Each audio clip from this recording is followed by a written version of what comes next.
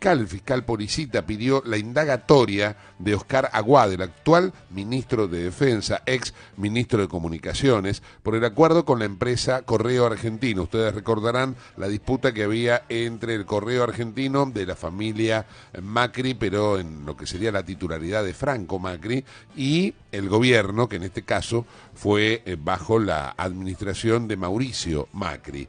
Está acusándolo el fiscal Policita, nada más ni nada menos que al eh, ministro Aguad.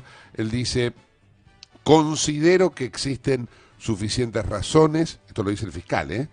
para tener por demostrado que el acuerdo celebrado entre los representantes del Ministerio de Comunicaciones de la Nación y el Correo Argentino, que motivó el inicio de la presente investigación, fue espuriamente concebido y a la vez buscó beneficiar a la empresa concursada y comprometió abusivamente al Estado Nacional, que enfrentó la posibilidad concreta de resignar definitivamente el cobro de una considerable porción de un crédito legítimo y para entonces negado hacía aproximadamente 15 años.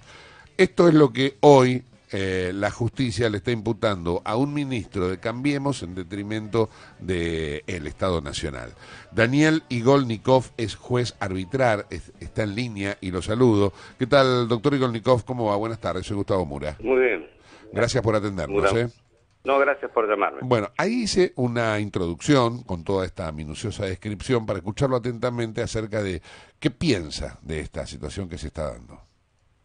Esto para mí es un poco como los, los mensajes sobre el estado del tiempo. A ver. Cada uno cuenta como real lo que ve. Eh, pero bueno, eh, las versiones se contraponen con los datos de la realidad objetiva y prefiero responderle eh, con eh, hechos eh, concretos del presidente de la Nación. A ver. Al poco tiempo de que yo hice la denuncia, por eso la causa está caratulada con mi nombre, fue, la primera denuncia, se arma, bueno, lo que sucede siempre, y en un momento el presidente Macri, les estoy diciendo una información que la pueden constatar eh, entrando en Google, eh, está el video en YouTube, donde el presidente Macri, en una publicación de Telam, dijo, eh, no dije todo lo que sabía, sí estaba al tanto, con eso contradijo lo que dijo Aguad, que el presidente no se había metido en esto, y también dijo, bueno, vamos a foja cero. Foja cero es un término, eh, digamos, mitad jurídico, mitad no, pero significa empecemos de nuevo. Pero en los hechos, en las conductas de las personas, eso no significa no hacerse cargo de lo que se ha hecho mal. Y para mí, en ese sentido, la conducta del presidente Macri tuvo un rasgo de honestidad porque reconoció que lo que se estaba haciendo, él lo sabía, que no estaba bien, entonces, bueno, dejémoslo sin efecto. Para mí, en su momento, lo dije en el expediente, que eso era reconocimiento de la tentativa de un hecho presuntamente ilícito que hoy, con la manifestación del fiscal Policita, parecería que efectivamente fue ilícito. Así que eh, yo estoy, eh, digamos, tranquilo eh, de que denuncié cuando me enteré de que había una posible comisión de un delito que afectaba los intereses del pueblo, de todos, y que estaba interviniendo alguien que estaba en el poder y que de paso tenía que ver con la familia. Ahora, eh, Daniel, yo te pido, analicemos la conducta de dos de los protagonistas de esta historia que estábamos hablando, que usted acaba de escribir recién. Mm. Por un lado, vamos a desmalezar, ¿no? Por un lado, la del ministro y por el otro lado, la del presidente, que es lógicamente la cuestión de fondo, que es la que más nos importa, ¿no? Va, digo, la que más nos importa como espectadores que somos de esta situación. Si lo que queremos ver el, el resultado final, yo también quisiera que el resultado final fuera que eh, se incorpore dinero a las arcas del Estado. Pero vamos a pensar, vamos a pensar en, en lo, que serían las conductas de cada uno de los protagonistas. El ministro Aguad parece ser, y, encima el presidente mismo es el que es el, de algún modo lo desmiente, parece ser que mintió Sí. Yo no sé si ha mentido en sede judicial, si ha mentido eh, mediáticamente, pero parece que ha mentido. Con lo cual... Y es lo que parece, y, y, lo repite con el tema de Lara San Juan. Por eso. Con lo cual, si mintió o no me mintió, uno ya tiene un juicio eh, valorativo sobre eh, cómo trabaja Aguad. Es decir, la verdad que no sé qué hace todavía Aguad en la, en la función pública, a esta altura de los acontecimientos, ¿no? Ahora, yendo a lo que me parece a mí que es lo que realmente importa, es analizar la conducta del presidente de la Nación. Cuando me pongo a analizar la conducta del presidente de la Nación y no puedo olvidarme de lo que dijo Aguad, em, me da la sensación que queda abierta el beneficio de la duda para Macri, por cuanto podría Aguad haberse excedido en esa famosa de es más papista que el Papa, ¿vio? Es como que voy a mentir por el presidente para ver si lo salvo, pero en realidad lo estoy enterrando. Claro, pero mire... Eh, ¿Podría ser o no?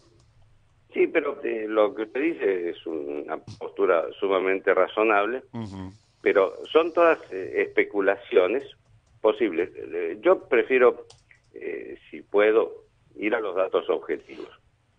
Él, está claro que, por las constancias del expediente, que Aguad dijo una cosa que resultó desmentida por la declaración, es un video que está... Pero es que eh, acabo de, ratificar y, reafirmar lo que usted dice. Digo, eh, Aguad mintió. Ahora, la pregunta es, la que, la que realmente importa es, ¿el presidente mintió? Bueno, cuando el presidente habla, dice que eh, él sabía, que es el, tema, y que no se terminó haciendo nada, por lo tanto, en su visión, no pasó nada, pongámosle al que tiene que juzgar si no pasó nada y si el delito existió y si fue en grado de tentativa, es al juez. Y a mí me preocupa, digamos, soy de base abogado, que la conducta de los jueces suele ser menos jurídica y más política. ¿Por qué? Porque estos mismos hechos ya existieron en el expediente y no se investigan. Y esto puede ser complacencia o convicción jurídica.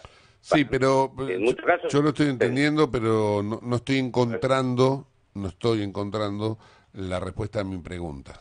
No en usted, no en usted, sino en, ah. en, los hechos objetivos. Y la pregunta que hice, que, mm. es, que la pregunta que creo que le interesa a todo el mundo, ¿el presidente mintió? Esta es la pregunta que me hago. Y no encuentro una respuesta, porque puede ser que sí, puede ser que no también. El, no, el presidente dijo yo sí sabía, el que mintió, que dijo que no sabía, era... Aguad. Eh, Aguad. Claro, pero por eso digo, poco me importa a mí si Aguad mintió o no mintió, ya a esta altura le dije, Aguad no tendría que ser funcionario a esta altura, ya tendría que haber renunciado. el tema es este, yo coincido con usted, no solamente por eso, sino por lo de Lara San Juan, que él ha demostrado una incompetencia no me cabe la menor duda, pero no es el tema de objeto de análisis ahora el Ara San Juan. No, sí, porque el tema es este. Ahora, si Macri elige mal reiteradamente, eso ya es más complicado. No, no tiene nada que ver. No, no tiene nada que ver. Eso es, eso es una valoración del juicio de selección de personal que no tiene nada que ver con esto. Acá lo que estamos analizando es si el presidente mintió o no mintió en su conocimiento de que, mm, digamos, de, lo que es el acuerdo con la empresa Correo Argentino.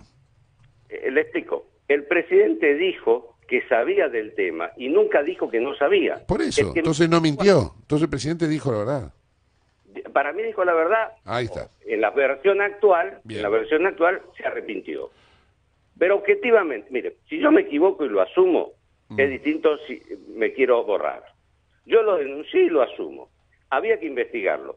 La investigación resultó ahora por una denuncia, eh, perdón, por una imputación más concreta del fiscal que hay responsabilidad. Fíjese que en el análisis fiscal no, no se toma en cuenta la conducta de Macri, pero eso es responsabilidad de los jueces o del fiscal que viendo todo el expediente, yo no he tenido acceso al expediente porque como denunciante no lo tengo, quise ser amigo curae y no me dejaron. Bueno, punto. No me voy a quejar de eso. Objetivamente, ¿el presidente dijo la verdad?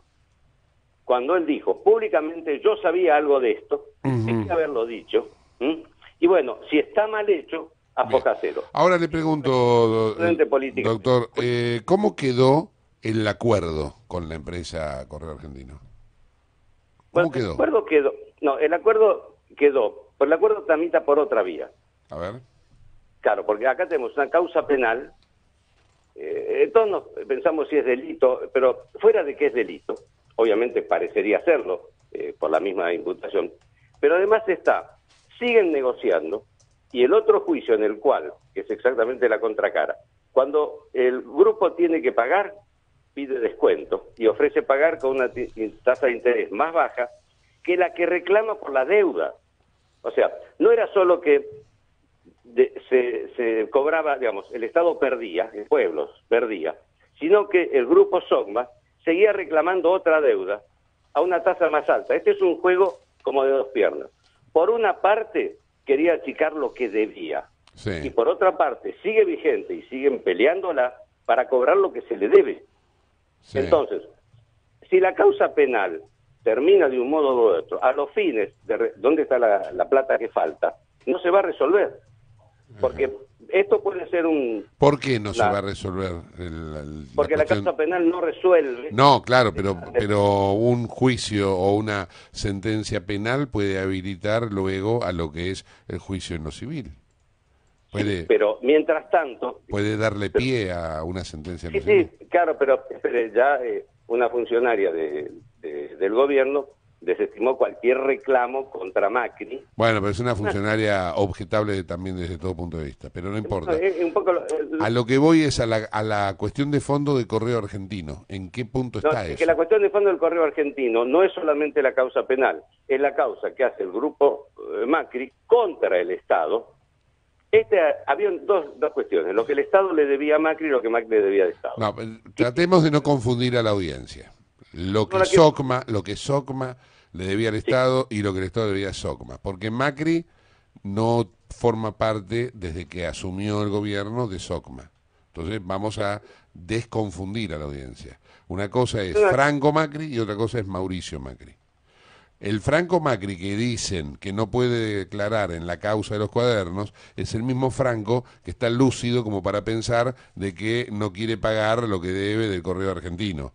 Eh, ahí es donde yo me parece que hay que hacer hincapié, en que hay un Franco Macri que a veces aparece eh, con una enfermedad degenerativa, como lo han pintado, y hay otro, Franco Macri, que es el mismo, que está lúcido y que puede eh, negociar la deuda del correo argentino con el Estado. ¿Me entiende a dónde voy? Yo lo entiendo. Ahora, Mauricio Macri en esta no tiene que ver. En la, en la cuestión económica de la deuda Aparentemente no.